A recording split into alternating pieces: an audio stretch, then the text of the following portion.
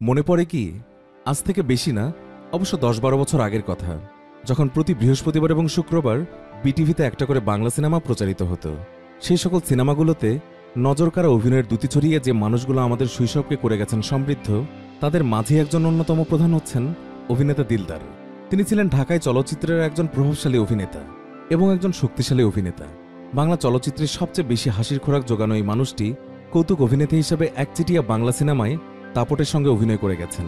তার আগে যেমন তার মতো গুণী কৌতুক অভিনেতা ছিলেন না তেমনিভাবে বর্তমান সময়েও তার মতো কোনো কৌতুক অভিনেতা বাংলা চলচ্চিত্রে নেই। তাই তো শৈশবের স্মৃতিচারণ করতে গেলেই তখনকার সিনেমার মূল নায়ক নায়িকার নাম মনে করতে না পারলেও চোখের সামনে ভেসে ওঠে দিলদারের একের পর এক জীবন্ত অভিনয়। জীবনের কথার আজকের এই ভিডিওতে আমরা স্মরণ করব দুঃখ ভোলানো সেই মানুষটিকে। সেই সাথে জানব তার জীবনের কথা এবং নানা রকম অজানা তথ্য। তো চলুন, আর দেরি না করে ভিডিওটি দেখে আসি। উনিশশো পঁয়তাল্লিশ সালের তেরোই জানুয়ারি চাঁদপুর জেলায় জন্মগ্রহণ করেছিলেন বাংলাদেশের প্রথম কৌতুক অভিনেতা দিলদার। অস্থির হাস্যরসে ভরা এই কৌতুক অভিনেতার শৈশবকালটা যে কেমন ছিল কিংবা কতটা রোমাঞ্চকর ছিল, তা অবশ্য আমাদের খুব একটা জানা নেই। তবে সেটি না জানা গেলেও তার অভিনয় দেখে অবশ্যই বুঝতে বাকি থাকে না যে তিনি ছোটবেলা থেকে কতটা দুষ্টমিষ্ট ছিলেন।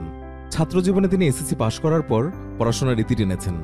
বাংলা চলচ্চিত্রে দিলদারের প্রধান পরিচয় একজন বলিষ্ঠ কৌতুক অভিনেতা হিসেবে। বাস্তবতার দৈনন্দিন ঘানি টানা শেষে ক্লান্ত শরীরে একজন সাধারণ দর্শক যখন তার অভিনয় দেখতেন, তখন তারা সবাই মুগ্ধ হতেন এবং সেই সাথে প্রাণ খুলে হাসতেন। সাথে সাথে ভুলে যেতেন সারাদিনের সব রকম কষ্ট। মানুষকে হাসানোর অসাধারণ প্রতিভা ছিল তার মধ্যে। চলচ্চিত্র অঙ্গনে পা রাখার আগে তিনি থিয়েটারের হয়েও কাজ করেছেন। আর সেই প্রতিভা নিয়েই তিনি চলচ্চিত্র অঙ্গনে পা ফেলেন যুদ্ধ পরবর্তী সময়ে উনিশশো বাহাত্তর সালে। চলচ্চিত্র ক্যারিয়ারে তার প্রথম সিনেমা ছিল কেন এমন হয় চলচ্চিত্রটিতে।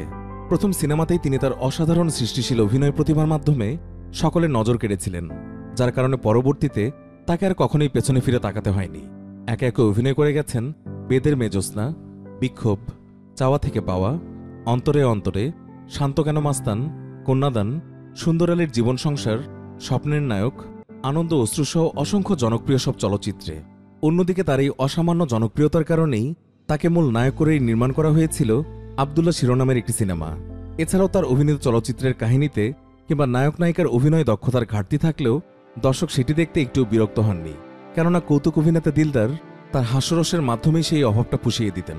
এমনকি অনেক চলচ্চিত্রের শেষ দৃশ্যে তার সংলাপ দিয়ে কাহিনীর শেষ হওয়াটা স্বাভাবিক ব্যাপারে পরিণত হয়েছিল। সেরা কৌতুক অভিনেতা হিসেবে দুই হাজার তিন সালে তুমি শুধু আমার চলচ্চিত্রে অভিনয়ের সুবাদে, তিনি জাতীয় চলচ্চিত্র পুরস্কার লাভ করেছিলেন। দিলদার বাংলা চলচ্চিত্রের এমন একজন জনপ্রিয় অভিনেতা ছিলেন যে সিনেমার গল্প কিংবা নায়ক নায়িকা দেখার আগে লোকে জানতে চাইতেন সিনেমাটিতে দিলদার আছে কিনা। দিলদারের সবচেয়ে উল্লেখযোগ্য বিষয়টি হল, তিনি ছিলেন এদেশের সর্বস্তরের জনপ্রিয় অভিনেতা, আর তার অভিনয় দেখা যেত পরিবারের সকলের সাথেই। সারা জীবন অভিনয় করে যে বছর তিনি স্বীকৃতি পেয়েছিলেন, সেই বছরে তিনি দেশ বিদেশে বাংলা ছবির কোটি দর্শককে শোকে ভাসিয়ে চলে গেলেন না ফেরার দেশে। তার মৃত্যুর পর বাংলা চলচ্চিত্রে অনেক কৌতুক অভিনেতাই এসেছেন। আবার সময়ের স্রোতে তারা হারিয়েও গিয়েছেন। কিন্তু কেউই কৌতুক অভিনেতা দিলদারের অভাব পূরণ করতে পারেননি।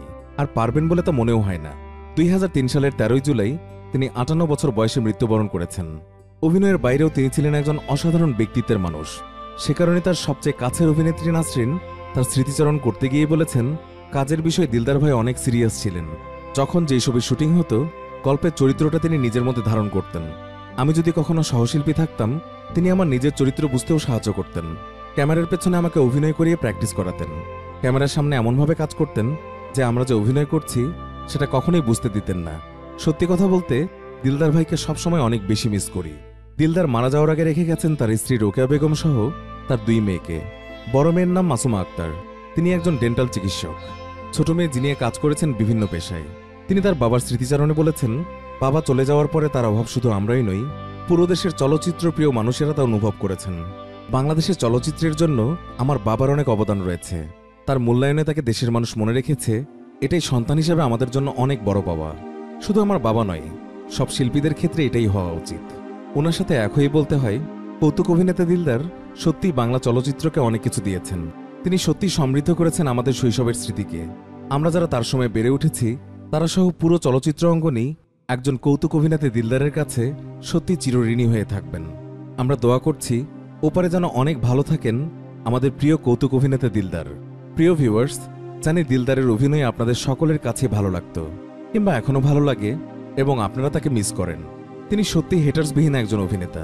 আপনারা যারা যারা কৌতুক অভিনেতা দিলদারকে মিস করেন, তারা অবশ্যই আমাদের আজকের এই ভিডিওতে একটি লাইক দিন এবং অসংখ্য শেয়ার করে তা কৌতুক অভিনেতা দিলদারের ভক্তদের কাছে পৌঁছে দিন। আর দিলদার অভিনীত কোন চলচ্চিত্রটি আপনাদের সবচেয়ে ভালো লেগেছে, তা জানিয়ে কমেন্ট করতে ভুলবেন না। আরও এমন হারিয়ে যাওয়া তারকাদের জীবনের কথা এবং নানা রকম অজানা তথ্য জানতে আমাদের চ্যানেলটি সাবস্ক্রাইব করে আমাদের সাথেই থাকুন।